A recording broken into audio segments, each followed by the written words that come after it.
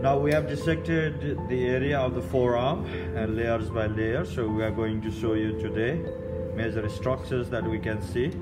Here we this following the biceps muscle is a flat aponeurosis that goes into the superficial fascia. It helps in the supination of the forearm too. Now when you reflect it and keep it upside, we can see some boundary of the muscles. The muscles on the lateral side is brachioradialis and on the medial side is pronator teres. This is the humeral head of the pronator teres.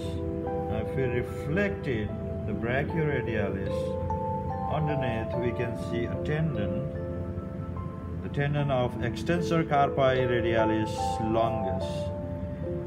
If you carefully observe, there is one nerve which runs between the extensor carp yeah, extensor carpi radialis longus and brachioradialis. This is the superficial branch of the radial nerve, which we can trace downwards that supplies the dorsum of the hand on the lateral fingers. Now, if we trace upwards the superficial branch of the radial nerve, we can see the radial nerve coming from the posterior compartment of the arm.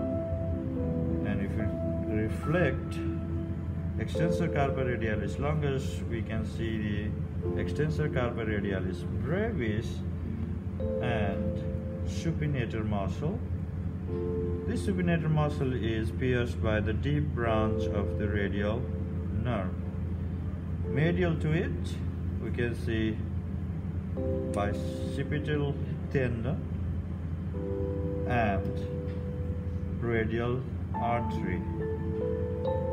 Now coming to the forearm muscles, the superficial one is the pronator teres. Next to it, medially, we have flexor carpi radialis, which has already been cut here to reveal the structures beneath. Now if we reflect the and the lateral part of the pronator teres. This is the ulnar head and the humeral head of the pronator teres between which median nerve is present.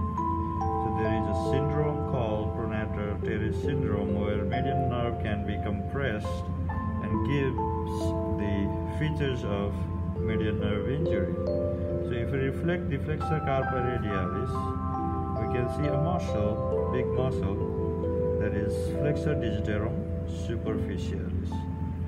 Now, its attachment to the radius has already been cut, so we can reflect flexor digitorum superficialis so that we can follow the course of the median nerve which supplies this muscle and the muscle below it there are two muscles which you can see here is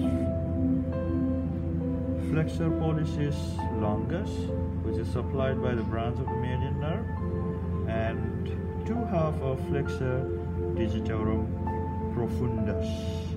If you reflect the profundus then you can see a quadratus muscle in shape known as pronator quadratus. This is supplied by the branch of the median nerve and can see visualize the artery small twig anterior interosseous artery the branch of the common interosseous artery from the radial and the ulnar nerve